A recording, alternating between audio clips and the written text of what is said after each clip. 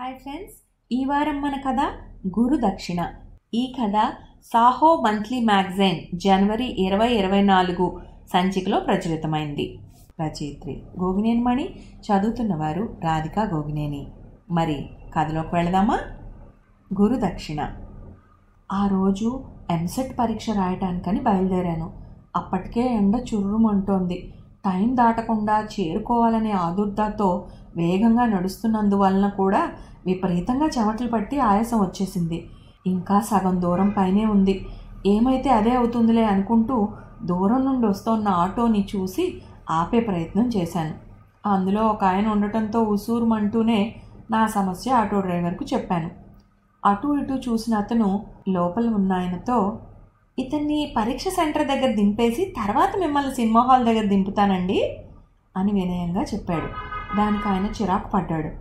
నా ఒక్కడి కోసం మాట్లాడుకున్నాను. ఇంకొకరిని ఎక్కించుకుని వాళ్ళని దింపాక నన్ను తీసుకెళ్తానంటే సినిమా మొదలైపోతే నా పరిస్థితి ఏంటి? నీకే? నష్టం నాకేగా? అయితే ఒక పని చేద్దాం సార్. ఈ స్టూడెంట్కి టైం దాటితే ఒక సంవత్సరం వృధా అవుతుంది. మీకు అలాంటి సమస్య లేదు. కొంచెం ఆట అయిపోయినా నష్టం ఏం లేదు. బాగుంటే మళ్ళీ ఒకసారి పూర్తిగా చూసే ఛాన్స్ ఉండనే ఉంటుంది.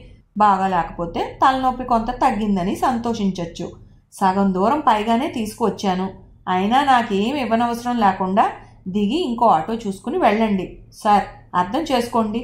ప్రాధాయపూర్వకంగా అన్నాడు. ఆయన అటు ఇటు చూసి ఏ ఆటో రావడం లేదని గ్రహించి కాబోలు లౌక్యంగా భలేవాడివయ్యా సర్లే నీ మాట కానీ ఇతన్ని దింపాకే వెళ్దాం కానీ మరి తొందరగా పోని అన్నారు కొంచెంగా నవ్వి. నేను డ్రైవర్ వైపు కృతజ్ఞతగా చూసి లోపల ఉన్నాయనకు నమస్కరించినట్లుగా తల ఉంచి అభివాదం చేసి ఆటో ఎక్కి కూర్చున్నాను.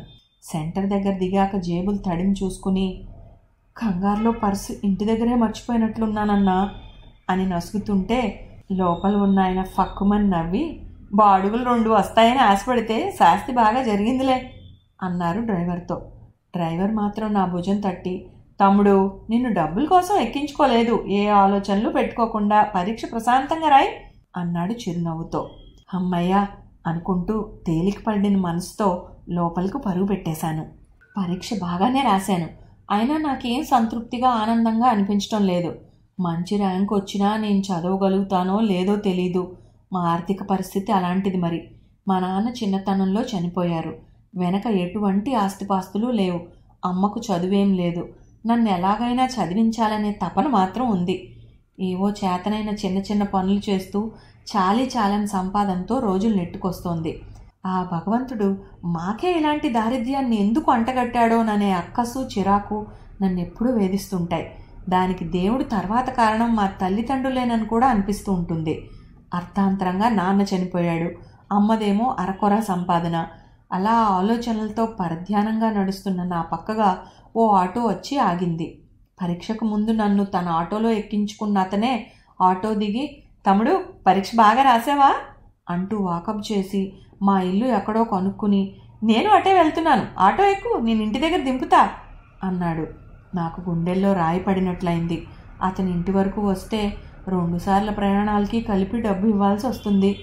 ఉదయం మా అమ్మ ఆటో డబ్బుల కోసం ఇంట్లో వెతికి చిల్లర పోగేస్తుంటే నాకు చిరాకొచ్చి నడిచి వెళ్తాలే అంటూ కోపంగా బయలుదేరాను. పర్సు మర్చిపోవటం అనేది ఆపద్ధర్మంగా చెప్పిన అబద్ధం. గత్యంతరం లేక ఆ విషయం అతనికి చెప్పేశాను. నీ దగ్గర డబ్బులు తీసుకోవాలనుకోలేదు తమ్ముడు. ఖాళీగా వెళ్తున్నా కదా అని రమ్మన్నాను. చదువుకునే స్టూడెంట్స్తో కబుర్లు కలపటం అంటే నాకు చాలా ఇష్టం. నువ్వు ఒక అబద్ధాన్ని కప్పిపుచ్చడానికి మరో కట్టుకథ చెప్పకుండా నిజాయితీగా నిజం చెప్పినందుకు నీ మీద నా స్వంత తమ్ముడిపై కలిగే ఇష్టం లాంటిదే ఏర్పడింది అన్నాడు అతను ఆప్యాయంగా భుజం మీద చేయి వేసి. నేను సంకోచించకుండా సంతోషంగా ఆటో ఎక్కేశాను. అతను అడిగిన వివరాలకి జవాబుగా దిగజారిన మా ఆర్థిక పరిస్థితి నా ఆలోచనలు అన్నీ అరమరికలు లేకుండా చెప్పుకుపోయాను. అతను చిరునవ్వుతో విన్నాడు. ఆటోలో అతనికి ఇరువైపులా రెండు స్టిక్కర్స్ ఉండటం చూసి వాటిపై రాసి ఉన్న కొటేషన్స్ని చదివాను.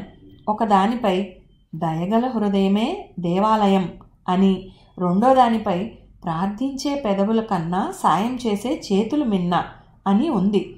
నాకు చాలా ఆశ్చర్యంగా అనిపించింది. వాటి గురించి అడుగుతూనే అతని చదువు లాంటి వివరాలను నేను వాకప్ చేశాను. నేను చిన్నప్పుడు సాయంకాలాలు మా నాన్నమ్మతో కలిసి గుడికి వెళ్ళి పురాణ కాలక్షేపాల్ని శ్రద్ధగా వినేవాణ్ణి.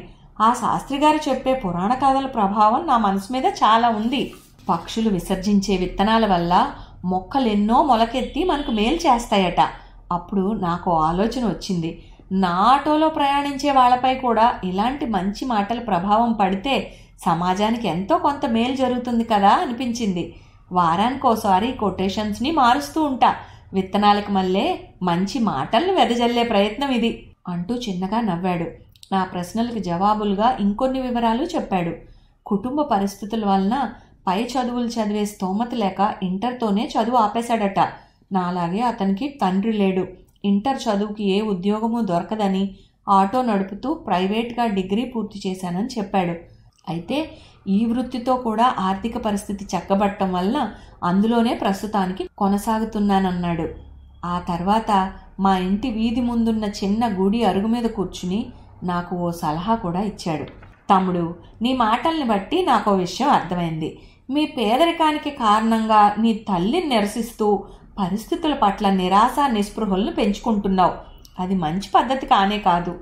ఒంటరిగా కష్టపడుతూ నీకు మంచి జీవితాన్ని ఇవ్వాలనే ఉద్దేశంతో నిన్ను చదివించాలనుకుంటున్న తల్లి పట్ల అకారణ ద్వేషం ఎందుకు? పేదరికాన్ని అసహించుకోవడం కాదు. అధిగమించడానికి ప్రయత్నం చేయాలని మన పెద్దవాళ్ళు చెప్పారు కూడా. అవునా? అందుకని నేనిచ్చే సలహా ఏమిటంటే నీ తల్లి కోరిక తీరేలా బాగా చదువుకుని మంచి ఉద్యోగంలో స్థిరపడగలిగితే పరిస్థితులన్నీ అవే చక్కబడతాయి. నువ్వు ముందుగా నీ దారి మార్చాలి. నిరాశ నిస్పృహల్ని వదిలి ఆశావాదంలోకి అడుగుపెట్టు అంటూ ఉత్సాహపరిచే ప్రయత్నం చేశాడు. అతని మాటలతో నాకు నిజంగానే హుషారొచ్చింది. పురాణ కథల సూక్తులు పెద్దల మాటలు చాలానే చెప్తున్నావు. పురాణాలు బాగా విన్నట్లున్నావన్నా అంటూ నవ్వాను. నువ్వు సరదాగా అన్నా కానీ ఆ మాట నిజమే తమ్ముడు. అందుకేగా మంచి మాటల వ్యాప్తి అంటూ నా ఆటోలో ఇలా రాసి పెట్టుకున్నాను అంటూ అతను నవ్వాడు. ఆ తర్వాత ఒక కాగితం మీద ఏదో రాసి నా చేతికిస్తూ చెప్పాడు. ఇది ప్రతిభావంతులైన పేద విద్యార్థుల్ని చదివిస్తున్న సంస్థ అడ్రస్. నీ మార్కుల వివరాలతో వెళ్ళి కలిస్తే నీ చదువు నిరాటంకంగా సాగిపోతుంది అన్నాడు. ఆ కాస్త పరిచయంలోనే అతనంత పెద్ద సాయం చేయడం చూసి నా కళ్ళు చెమర్చాయి. అతని చేతుల్ని పట్టుకుని నీ రుణం ఎలా తీర్చుకోగలనన్నా? అన్నాను కృతజ్ఞతగా చూస్తూ. దానికి అతను పెద్దగా నవ్వాడు. తమ్ముడు రుణాలంటూ పెద్ద మాటలు అవసరం లేదు. ఎందుకంటే నాలా పరిస్థితుల వల్ల చదువు కొనసాగించలేని వాళ్ళకి చేయూతగా ఏ చిన్న సాయం చేసినా నాకు ఆ రోజు అన్నం తినకపోయినా మనసు నిండిన అనుభూతితో ఆనందంగా ఉంటుంది. నా సంపాదనలో కొంత మిగిల్చినప్పుడు దాన్ని ఆ సంస్థకు విరాళంగా ఇస్తుంటాను. నువ్వు రుణం తీర్చుకోవాలనుకుంటే ఏముంది? బాగా స్థిరపడ్డాక నీకు చేతనైనట్లుగా విద్యార్థులకి సాయం చేయడమే. మన పెద్దవాళ్ళు చెప్పింది అదేగా. ఇతరులు మనకి ఏది చేస్తే సంతోషం కలుగుతుందో అదే మనము చేయగలగాలి అని. అవునా? అంటూనే మళ్ళీ పెద్దల మాట అంటూ చెప్పడం గుర్తొచ్చు కాబోలు పెద్దగా నవ్వాడు. నేను నవ్వుతూ సెలవు తీసుకున్నా. తర్వాత అతను ఆచూకీ తెలుసుకునే ప్రయత్నం చేశాను కానీ ఫలించలేదు. నన్ను చదివించిన సంస్థ వాళ్ళకి తెలియదన్నారు నేను చదువు పూర్తి చేసి మంచి ఉద్యోగంలో స్థిరపడటమే కాదు నేను పనిచేస్తున్న కంపెనీలోనే భాగస్వామిని కాగలిగాను. ఇందుకు కారణం కేవలం ఒక ఆటో డ్రైవర్ ప్రేమతో నాకు చూపించిన ఆశావాద మార్గమే కారణం అనుకుంటాను ఇది నా జీవిత కథ అంటూ ముగించాను.